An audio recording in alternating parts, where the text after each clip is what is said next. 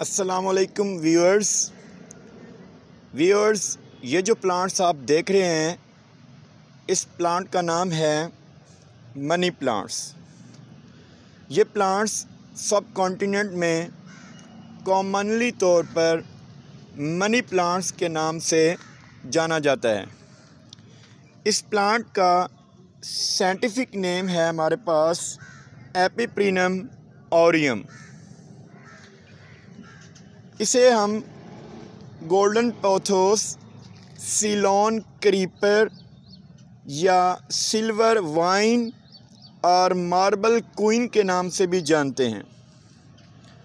बाज़ जगहों पर इसे डेवल्स आईवी भी कहा जाता है। इस प्लांट के ऊपर आम तौर पर फूल बहुत कम लगते हैं और इस प्लांट के जो लीव्स आपको नज़र आ रहे हैं, ये लीव्स वाइट येलो और लाइट ग्रीन इन कलर हैं। ये लीव्स बड़े लीव्स जो आपको नज़र आ रहे हैं हॉल्ट शेप्ड होते हैं और ये प्लांट्स ट्री की शक्ल में भी मौजूद होता है। टेम्परेट रीजन में ये प्लांट्स ख़ास तौर पर घरों में आरइशी पौधों के तौर पर लगाया जाता है। एक इम्पोर्टेंट इंडोर प्लांट्स है, जो बड़े शॉपिंग मॉल्स और ऑफ़िस में इसे ग्रो किया जाता है।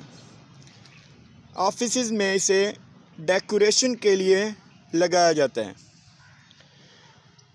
ये प्लांट्स ज़्यादा सनलाइट में ग्रो नहीं करता अगर ज़्यादा सनलाइट इस प्लांट पर पड़े तो ये इसके लीव्स जो हैं वो बर्न्स हो जाते हैं।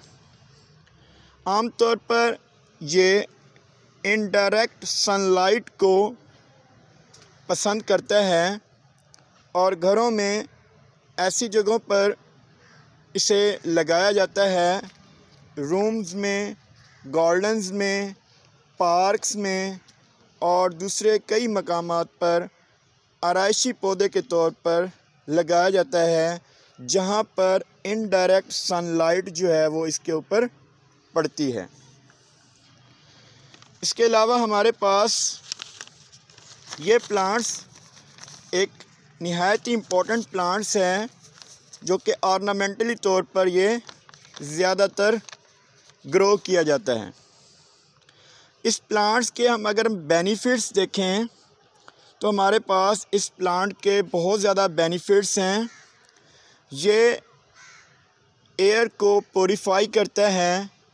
एयर में मौजूद प्लूटेंट्स को ख़त्म करता है। एयर पोल्यूशन को कंट्रोल करता है। इसके अलावा इसका बारे में ये ख्याल भी किया जाता है कि ये प्लांट्स जो है स्ट्रेस को भी काफ़ी हद तक कम करता है और अनजाइटी जैसे प्रॉब्लम्स को हल करता है। ये plants acts as a anti radiator के तौर पर काम करते हैं और बाज़ जगहों पर यह ख्याल किया जाता है कि ये प्लांट्स प्रॉस्पेरिटी और गुड लक की अलामत है। घरों में इसे प्रॉस्पेरिटी और गुड लक के लिए ग्रो किया जाता है। इसके अलावा इसके ग्रीन कलर्स और बड़े लीव्स जो हैं, वो रिलीविंग स्लीपिंग डिसऑर्डर्स को भी दूर करता है।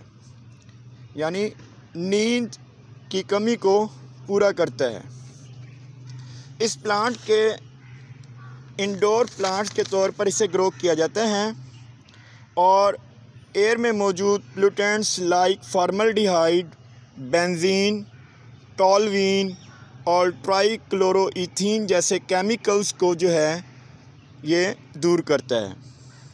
ये प्लांट्स आम तौर पर एक्वेरियम में भी यूज़ किया जाता है और वहाँ एक्वेरियम में मौजूद नाइट्रेट्स को ये यूटिलाइज़ करता है और फ्लोरिश करता है।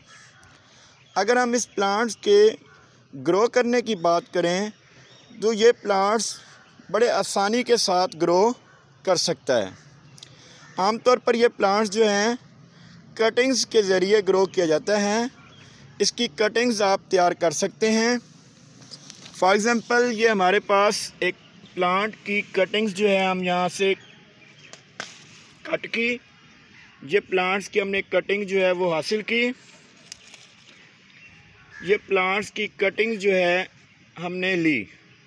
अगर हम इस प्लांट्स को स्मॉल कंटेनर में जिसमें वाटर मौजूद हो, वहाँ पर